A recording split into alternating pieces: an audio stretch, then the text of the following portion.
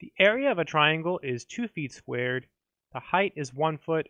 What is the base? So the first thing you want to do in a problem like this is write down the formula for the area of a triangle. So the formula for the area of a triangle is A, where A is the area, and then it's 1 half base times height. And now we're just going to plug everything in. Um, now, I'm not going to plug in the units. I know some people like to. Just keep in mind the base is going to be in feet. So our final answer is going to be in feet. Okay, so area is 2 feet squared, so that's just 2 equals 1 half. The base is b, we don't know it. And the height is 1, so times 1.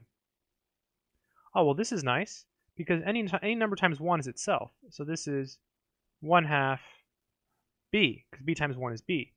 And then to solve for b, we just have to get rid of the fraction. So we can multiply by 2, multiply by 2, these cancel, and so you get 4 equals b. So writing it backwards, b equals 4, and don't forget the units, feet. And that would be the final answer. I hope this video has been helpful. Good luck.